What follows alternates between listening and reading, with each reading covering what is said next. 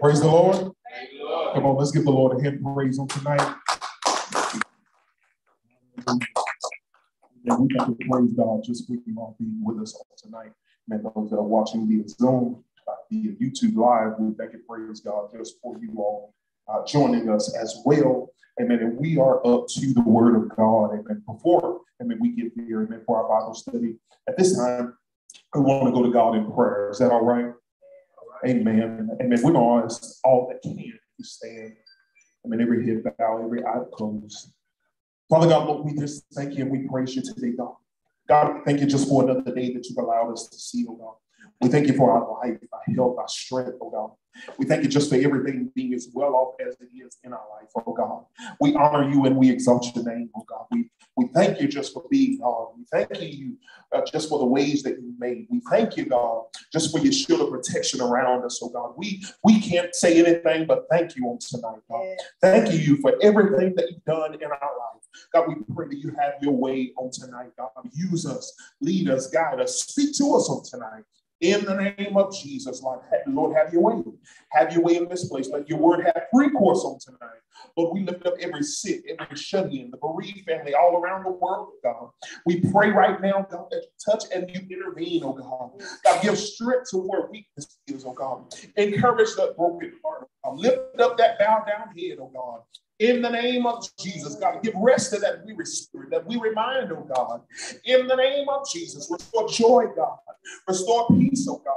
In the name of Jesus, God, meet the needs of your people. And Lord, we just say thank you on today.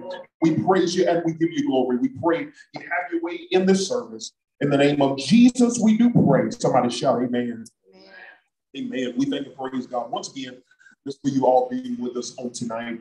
Um, at this time, we're going right into the word on tonight. As you can see, amen, our Bible study on tonight will be by the topic or about the topic of true repentance. Somebody shout, true repentance. Hallelujah. And what our main verse is going to be coming from Psalms, the 51st chapter, uh, familiar scripture, Psalms 51. Uh, but we want to deal with uh, true repentance and what that really does mean in our lives as people of God. Uh, so we want to deal with that and make sure that we're making the right decisions, making sure that we're walking worthy and pleasing in God's sight in the midst of what we go through. Hallelujah. Uh, so uh, let's talk about, let's start right there with true repentance. What does repentance mean? What does repentance mean?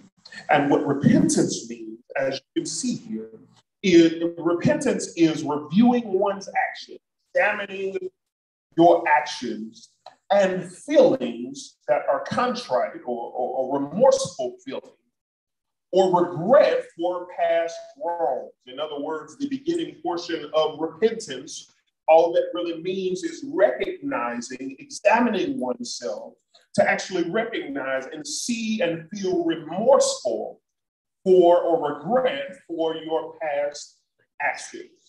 Uh, so for your past action. Uh, and then I don't want to stop there because many times what we think of when we think of repentance is just that alone, feeling bad or feeling sorry about what you have done. But repentance does not stop there. I'll say that once more. Repentance does not stop with just feeling bad or feeling like you've done something wrong, but it goes on and tells us not only is it uh, reviewing one's action and feeling contrite or remorseful or regretful for your past wrong, but it's also accompanied by a commitment to or actual actions that show and prove a change for better. In other words, it's not just a thought, it's not just your words speaking, but there is action that follows behind repentance. It's not just saying that you're sorry. It's not just saying uh, that you feel bad, but what repentance really is, it means to change. Uh, the real definition or the biblical definitions means to change your mind, to change your mind is what really repentance is. And, and I know many of us, and especially me, let me touch, speak for myself. When I grew up, all I thought repentance was is you saying that you're sorry for an action or saying that you're sorry, being remorseful that you did something wrong, and then just moving forward.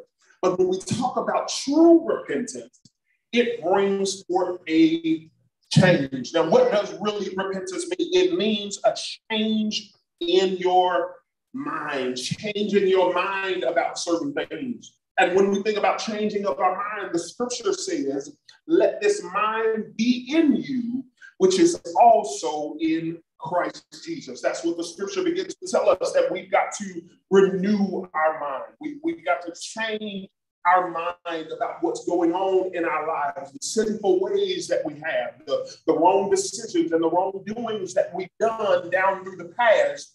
It's time for us to change our mind. Sometimes we've got to lower the volume in the things that go on in our life. We've got to lower down the volume of the, uh, the crashing sounds or the issues that go on in our life. We've got to crash out and uh, clear out the clutter of the things that go on in our life. We've got to change our mind. And repentance does not just mean change your mind because one mind, your mind is an aspect of the change. Your mind is an aspect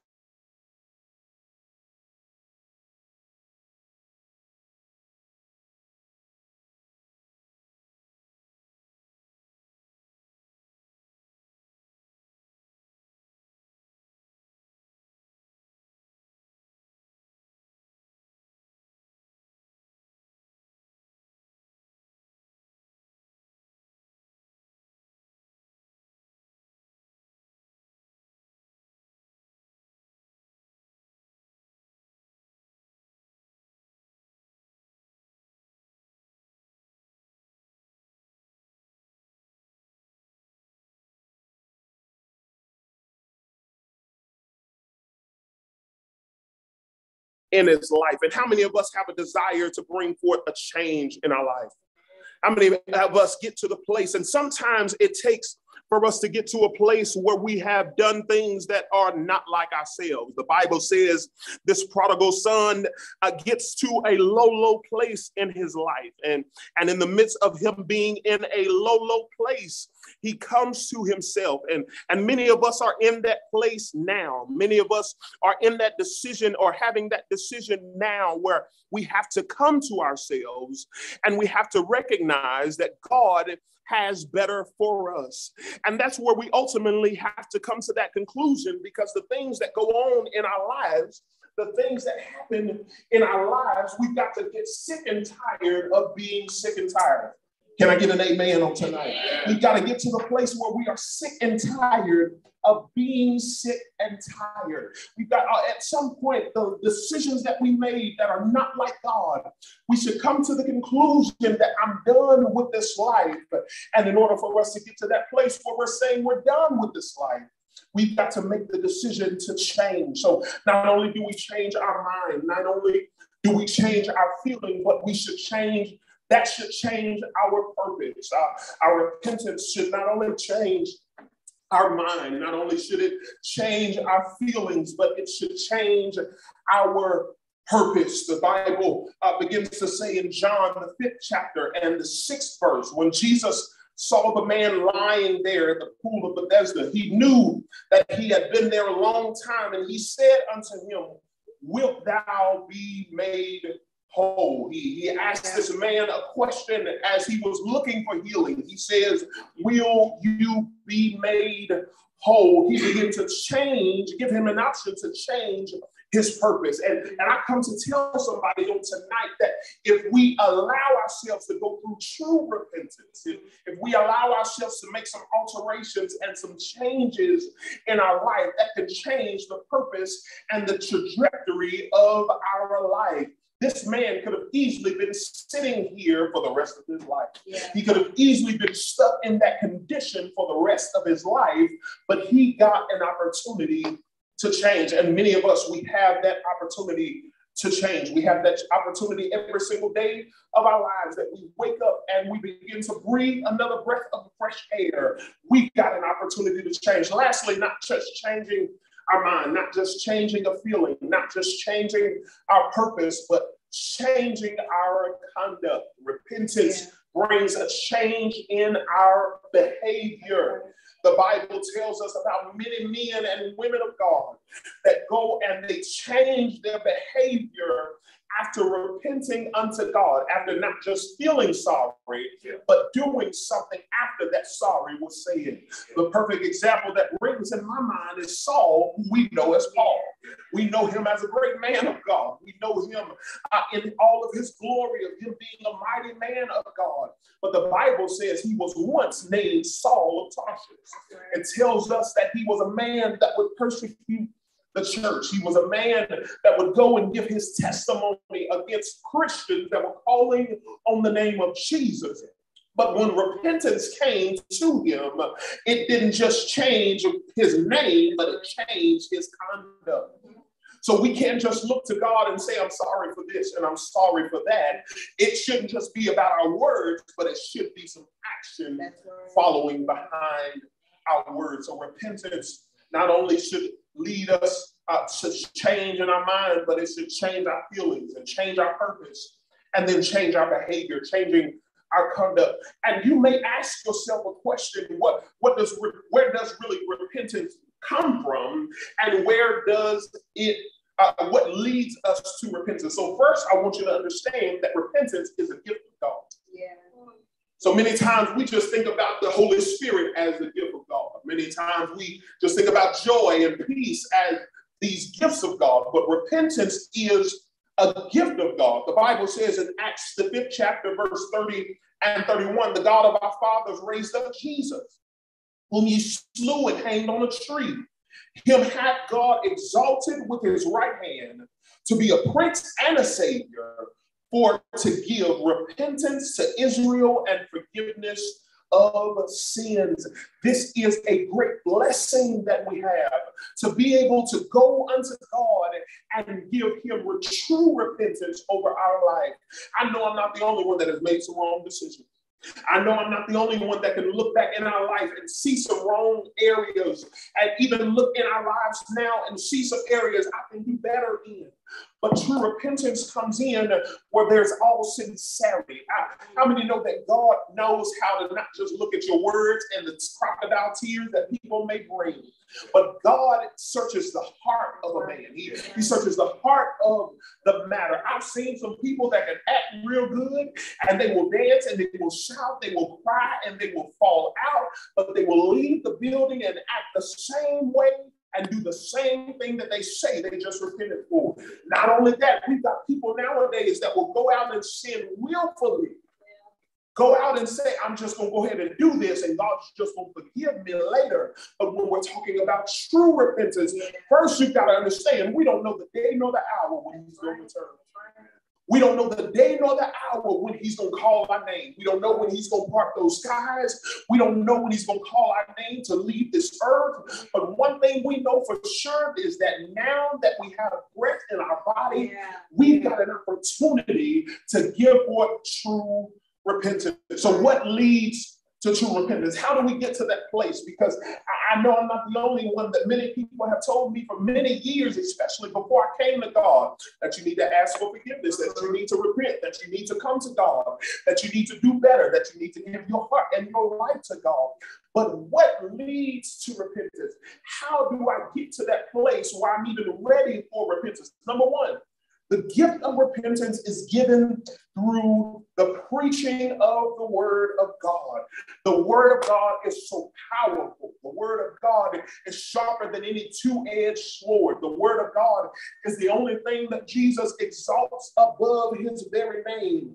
The word of God is forever settled it is the most powerful thing and tool that we have uh, to fight the enemy down here on this earth. So it is through the gift, uh, through the preaching of the word of God, that we are given this gift of repentance. Watch this Matthew, the 12th chapter, and the 41st verse. Matthew 12 and 41 says, Jesus said, The men of Nineveh shall, raise, shall rise in judgment with this generation and shall condemn it because they repented at the preaching of Jonas.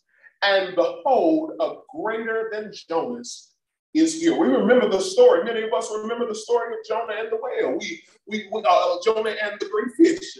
We remember that story that God uh, loved, uh, must have showed so much mercy and patience and love for this great city called Nineveh because he allowed uh, Jonah to, even when he was fleeing from the presence of God, that he still had to go and fulfill the, destination and the duty that he got the first time.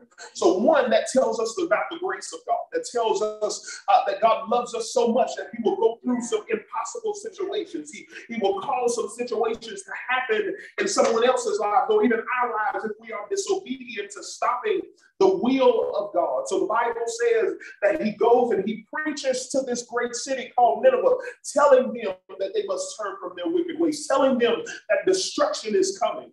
And because of him preaching the word of God, preaching the instructions that God had gave them, they begin to repent. Come on, you remember the story where the Bible says that, that, that the king began to call a fast amongst all the land. And he began to say, not only uh, for me, I'm going to rip off my clothes and sit in ashes. Not only me, but don't let nobody eat no food. Don't let nobody drink no water. Not even just the people. Let's even make sure that the animals are not eating or drinking. And hopefully God will hear us. Yeah. They didn't just say, God, I'm sorry. But they put some action behind that. that that's what true repentance is. And God heard them and gave them another opportunity.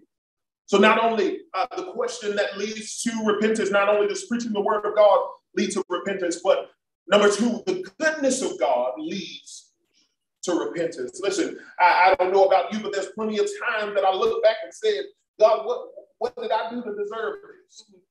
What did I do? I, especially in my sin, especially uh, in my low place. God, what do I deserve to get this job for? What do, what do I deserve to keep waking up every morning? Why, why do you keep blessing me? Because I found out that the goodness of God can lead us to listen, y'all, y'all don't hear me on tonight. Sometimes the way you treat people will allow, especially in their low place, will allow them to look to you when they get back up again. They will that will push them over the edge because they have no hope and they have no joy in certain areas. But you being a light will allow them to be uh, to follow the light out of the darkness. So the goodness of God leads to repentance. Watch this, Romans the second chapter and the fourth verse, Romans 2 and 4 says, Or despiseth thou the riches of his goodness and forbearance and long suffering, not knowing that the goodness of God leadeth thee to repentance. God being faithful can turn our life around, can give us things. Can, sometimes we've got scales over our eyes and, and we can't really see God's faithfulness. We can't really see God's goodness. We, we're overlooking these blessings that we have. I used to tell my children, be grateful for what you have. Count your blessings. Everybody don't have a game system. Everybody don't have their own room. Every, everybody don't have this solid roof over their head. Every, everybody don't have these things. And that's not just to the children. That's to you and me too. Everybody doesn't have what we have. And you may say, I don't got much, but you got more than somebody else has. So the goodness of God can lead us to repentance. Us seeing his faithfulness yeah. eventually may turn our heart and say, How can I be faithful back to him? So the goodness of God leads to repentance. Number three, the sorrows of life bring people to repentance. And many of us, this is our testimony. That this is what, this is how God got my attention to, to make sure that I'm giving true repentance. This is how God drew me in by the sorrows of life, the problems, the, the troubles, the issues happening in our lives. Psalms, the 78th chapter and the 38th verse. Again, Psalm 78 and 34 says, When he slew them, when God slew them, then they sought him. And they returned and inquired early after God. They had to see, these people had to see God destroy some people. Mm. And when they saw destruction happening, the Bible says, then they saw him.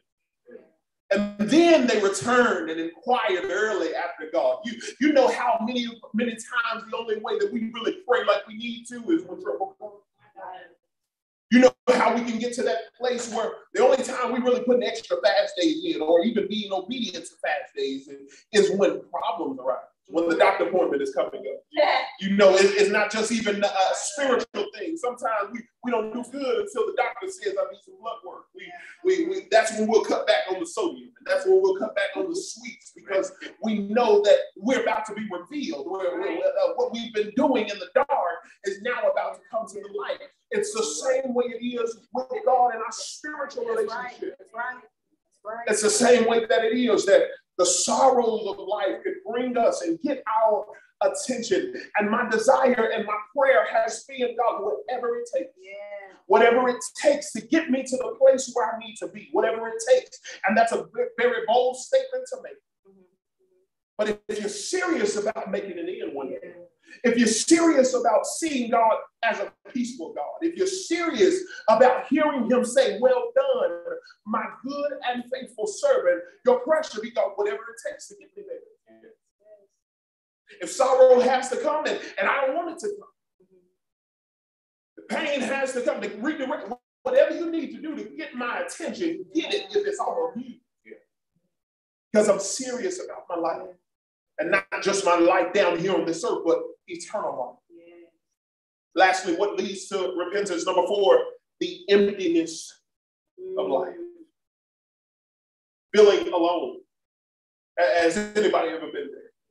Where you feel alone, you feel isolated, you feel like you got nobody to count on. You've got nobody to, to, to reach out to. You've got you don't have that circle like everybody else has. You, you don't have that foundation. You don't have people that you can pull on like everybody else has. Sometimes the emptiness of life can make someone repent. Yeah. Perfect example, the, the prodigal son going right back to him. The Bible says he goes out, he all of a sudden when he's got money and he's enjoying life. No doubt friends and people are around him. The Bible says when he has nothing, there's nobody there. He's all alone and he goes and finds, I believe, a family member and he goes, begins to work for them. And the only thing that changed his mind was realizing his life was. Realizing he was in a bad situation, realizing that a, a, a son of a king is eating pigs. He felt empty must have felt alone, as though there was nobody else to turn to. And sometimes we got to get that low. Yeah. That's not everybody's testimony. Somebody listened just at the first scare, just, just at the first doctor, just, just at the first glimpse of, of, of sin, just at the first glimpse, that, that, that pregnancy scare, that, that family almost lose, whatever, whatever it was, some of us, we stopped right there and said, God, I give it up. Yeah. But for some individuals, because we are not all the same, for some people, it takes getting all the way down low. It takes being stripped of everything, having an emptiness. Yeah, yeah. To get to God yeah. and give true repentance.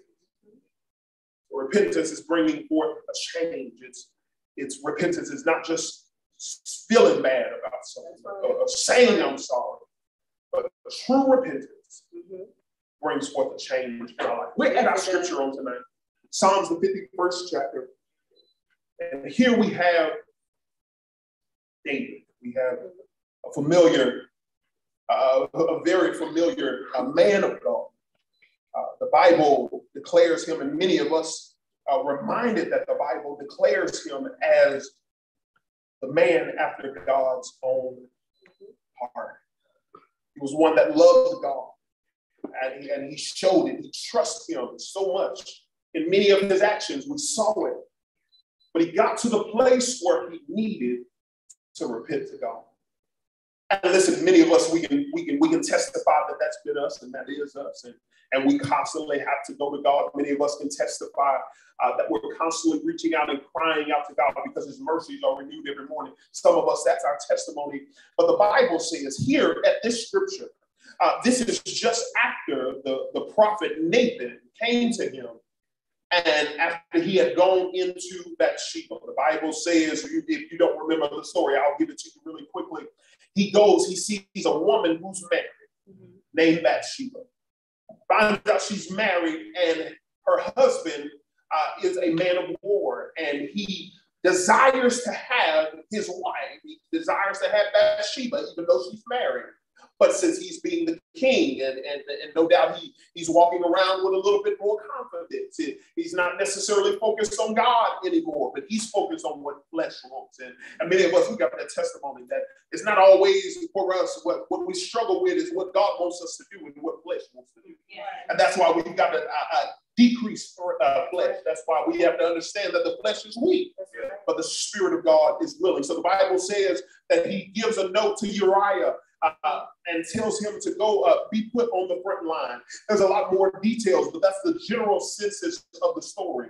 And now Nathan, the prophet of God, gets confirmation from God, goes and tells him that you are the man that has done this evil deed, and God is not pleased.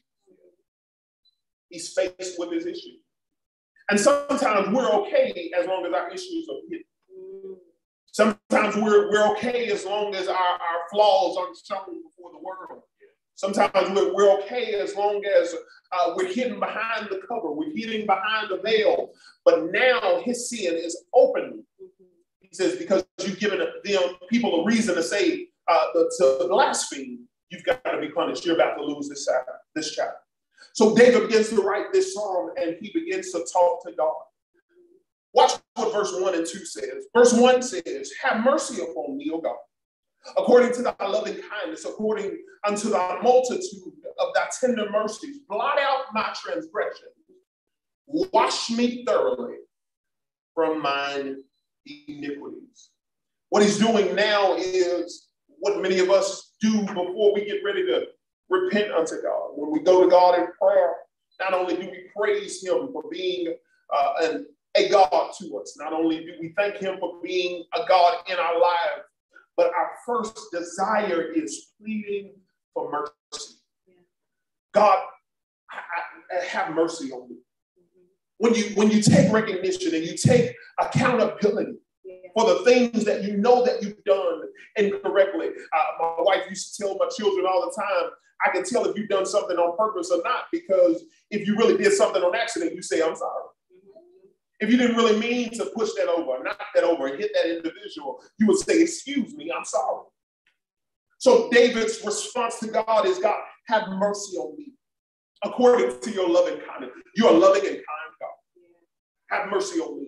According to thy multitude of thy tender mercies, blot out my transgressions. Throw this into the sea, uh, the depth of the sea. Throw this away from me and wash me of my iniquities. He's pleading for God to have mercy.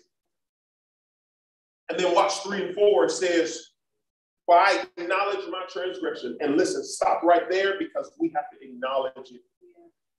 We can't just go over, wash over it. You know, now it's a generation of people that don't want to ever say, I'm sorry. Yeah. It's a generation of people now that they don't want to ever have no conversations. They don't ever want to want to talk about the wrong and the issues. They just want to sweep over it, yeah. walk over it, shout over it, dance over it. David shows us a good example. He says, I acknowledge my transgressions and my sin is ever before me. I'm not forgetful. I'm not just going to look back and say, listen, I, I did it and oh well. But it's ever before me. It's constantly playing in my mind how I disappointed you, how I did things outside of your will, and flesh desire to do it, flesh desire to have her. But now that I'm coming to this recognition, now that scales are off of my eyes, God, I need you to have mercy. Because I realize now I need you more than I need the stuff. I need you more than I need the thing. I need you more than I need the individual. Have mercy on me. I acknowledge my transgression. My sin is never before me. Against thee, thee only have I sinned. Uh, this was not uh, broadcast anybody else. I, I, I, I did not put anybody else in a terrible situation, but it was against you and I that I've sinned. Mm-hmm. I'm not going to push no blame on nobody else. I'm not going to play the blame game as many of us try to. Yeah. Did Adam say? That woman you gave me. Mm-hmm. Many times that's our desire. That's our that devil made me do it. But he's taking all the responsibility. He says, "Against thee and only thee have I sinned and done this evil in your sight." He's confessing the sin.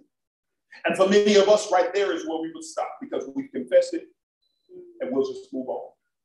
But let's talk about true repentance. It goes on and it tells us uh, in verse 5 Behold, I, I was shapen in iniquity, and, and sin did my mother conceive me. Behold, that thou desirest truth in the inward parts, and, and in that hidden part thou shalt make me to know wisdom. 7 says, Purge me with hyssop and I shall be clean. I, God, I, I, I'm not just sorry. I'm not just confessing what I did was wrong.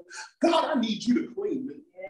God, I need you to change me. I, I don't want to have these desires anymore. I don't want to have this mindset anymore. I need to be changed from the head, uh, uh, from the top of my head to the sole of my feet. Purge me with hyssop, and I shall be clean. Wash me, and I shall be whiter than snow. I tried it by myself.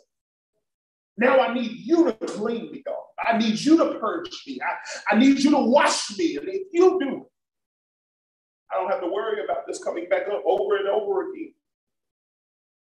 Make me to hear joy and gladness that the bones which thou hast broken may rejoice. Hide thy face from my sins and blot out mine iniquities. What he's really saying is, God, restore me. God, I need you to restore me.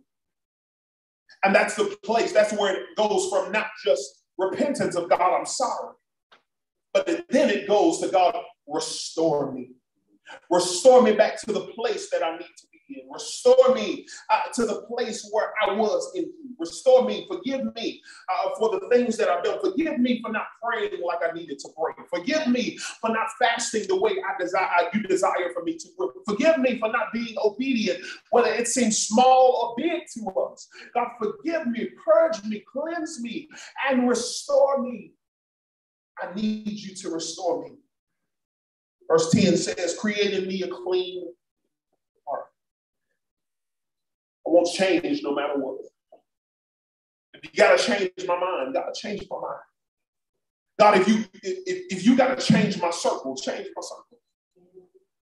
If you got to change my heart, because the heart that was pleasing in your sight before, because I was a man after your own heart. Now I want you, I see what my own desires and, and me following the flesh led to creating, give me a new heart, Jesus. Make me afresh, make me new. Restore my heart and renew a right spirit within me. Obviously, the way that I've been doing, things that I've done have not been pleasing in It's like creating me a clean heart. He's asking for restoration in his heart. We're almost done. Restore unto me, the 12th verse. Restore unto me the joy of thy salvation and uphold me with thy free spirit. Then will I teach transgressors thy ways, and sinners shall be converted unto thee. He's asking for God to restore the joy of his salvation. God, restore me. I, I don't just want a restored heart, but I, I need my joy back. I, need, I, I don't want to be in condemnation. I, I need my joy back. And not only my joy, uphold me with your free spirit. And God, if you do this, I'm not just to go out and do it again. I'm not just to go out and, and, and, when the next opportunity presents itself, dive right back in. But he says, if you do this, then I'm going to teach the transgressors your ways. And, sometimes we've got to clarify and make sure we fully understand that some things we have to experience in order to tell somebody else about. I'm not saying everything. You don't got to go and smoke, uh, uh, drink alcohol or, or, drink alcohol excessively or, or smoke uh, uh, uh, uh illegal substances to be able to tell somebody God's in the but sometimes God uses our experiences to be able to tell someone else that He is a God that can bring us out. He says, Then will I teach the transgressors thy ways, and, and sinners shall be converted unto you. 14, deliver me from thy blood guiltiness. O God, thou God of my salvation, and my tongue shall sing aloud of thy righteousness. Not only do I want you to restore me, my heart, my joy, but I want you to restore my praise. Yeah. I want you to restore the praise that I have, that I had on the inside. I need you to restore me. Get me back to the place where I need to be in you. And we're moving quickly. 14, uh, 16. For thou desirest not sacrifices, else would I give it. Thou delightest not in burnt offerings. The sacrifices of God are a broken heart or a broken spirit, a broken and a contrite heart. O God, thou wilt not despise.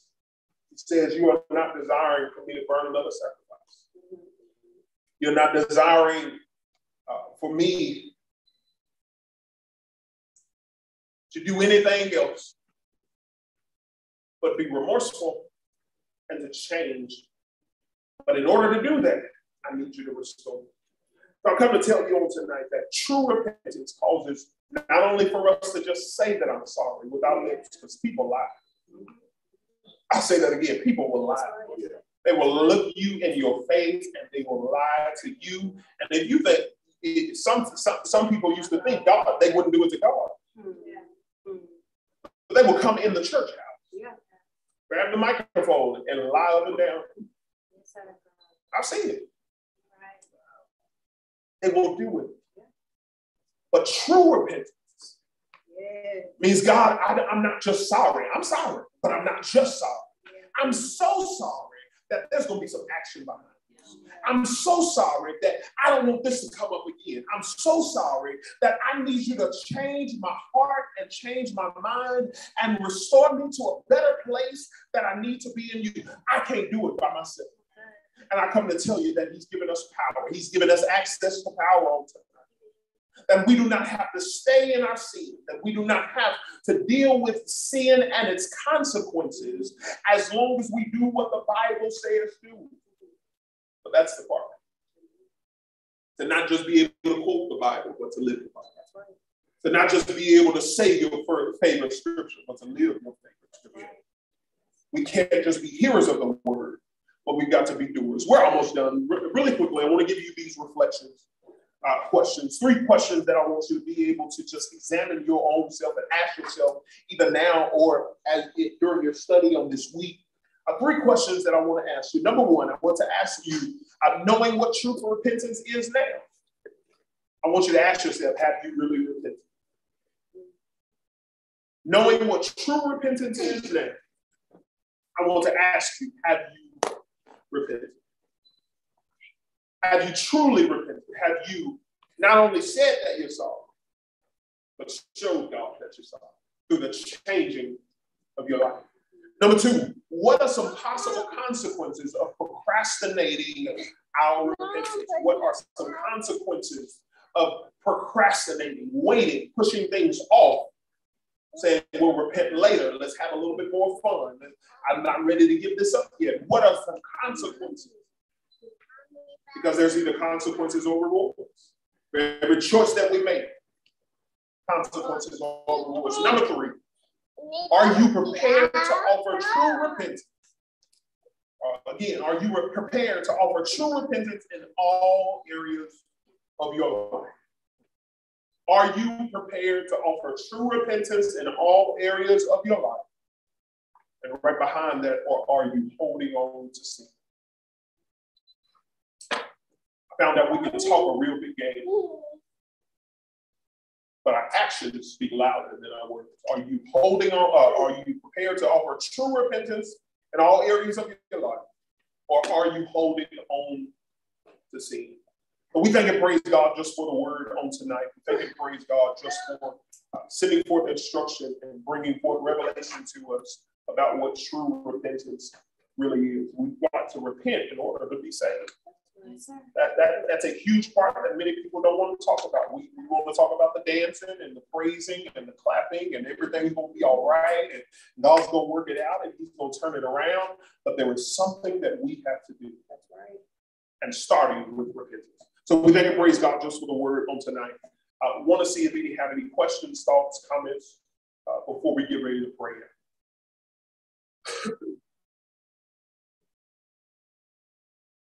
Amen. If not, we thank and praise God once again for you all being with us on the uh, tuning in via live stream. Uh, we praise God for you. Um, at this time, we're going to go ahead and get ready to dismiss. We're going to ask that you bow your heads once again. Father God, Lord, we thank you. We praise you today, God. We thank you for your word once again. We thank you just to be hearers and not only hearers, but doers of your word. We thank you for an opportunity to be uh, to be revealed, uh, for you to reveal to us what true repentance is. God, we pray that you created us a clean heart, God. We pray that you purge us with this, oh God. We pray that you change our minds, change our heart, oh God. If there's any areas in our life that we're holding on to something that's not like you, God, God, whatever it takes to get rid of it, oh God. God, we pray that you do it, God. Bring forth change in our life, God. We want to be pleasing in your sight. We want to hear you say, well done, my good and faithful servant. God, we thank you just for this, this night, oh God. We thank you for this time. We lift up all the sick, the shut in, and the bereaved family all around the world, God. Those that are hurting, those that are troubled emotionally, mentally, spiritually, God. We lift them up, God, praying that you meet the needs of the people. God, you got all power in your hands. There's nothing too hard for you, oh God. So we pray that you give everyone a mind to cast all our cares upon you, God. You care for us. You love us, oh God. And you don't put more on us than we can bear. Lord, we say thank you and we praise you. In the name of Jesus, we do pray. Somebody shout amen. Amen. Amen. God, uh, be dismissed at this time.